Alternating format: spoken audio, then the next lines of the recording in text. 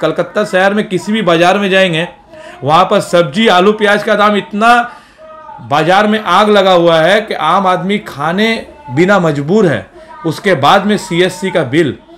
आपको पता है कि पश्चिम बंगाल में इलेक्टोरल बॉन्ड के माध्यम से ममता बनर्जी संजीव गोयंका से 500 करोड़ रुपया का चंदा लिए। और आज ममता बनर्जी का बयान है कि सीएससी कैसा करके दाम बढ़ाया हमको मालूम नहीं है। ये कैसे हो सकता है? यहाँ पर देखिए, दिल्ली में जिस तरीके से नरेंद्र मोदी का मोदी का मोदी का अंबानी और अडानी, और पश्चिम बंगाल में दीदी का संजीव गोयंका। आज संजीव गोयंका आम आदमी के ऊपर में इतना इतना हज़ारों, हज़ार रुपया का बिल दिया है, वो आम आदमी अगर किसी का दस हज़ार रुपया सैलरी है तो वो खाएगा क्या? इलेक्ट्रिक का बिल क्या देगा और अपने बच्चों को पढ़ाएगा क्या? ये सब मुद्दा में टीएमसी वाले नहीं आते हैं। आम आदमी का मुद्दा है सीएससी का इतना हज़ारों हज़ार रुपये का बिल है। दूसरा बात है कि कोई ऑल्टरनेटिव कंपनी नहीं है कलकत्ता में।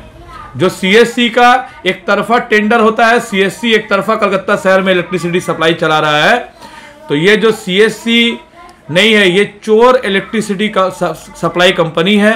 हम लोग सरकार से यही दावी करते हैं कि आम आदमी के ऊपर में जो ये बोझा सीएससी का चापा जा रहा है, इसको रोका जाए, नहीं तो आने वाले दिन में कांग्रेस पार्टी रास्ता में उतरेगा और तीव्र आंदोलन करके हम लोग ममता बनर्जी कान तक ये बात पहुंचाएँगे कि जो डेढ़ रुपया करके यूनिट का बढ़ाया गया है, उसको अविलंब कम किया जाए और लोगों के घर में आजकल जो नया मीटर सीएससी लगा रहा है, वो इलेक्ट्रॉनिक मीटर में इतना कारसाजी किया गया है कि ऑटोमेटिकली आपका यूनिट इतना बढ़ा दिया जाएगा कि जब आप सीएससी में कंप्लेन करने के लिए जाएँगे तो आपको बोलेगा आपका मीटर का रीडिंग देख करके हम लोग बिल दिए है। लेकिन वो मीटर ही जालियाती लगाया जा रहा है सीएससी के ज़रिए से।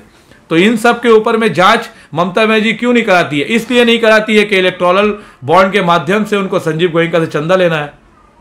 ठीक, बहुत बहुत शुक्रिया।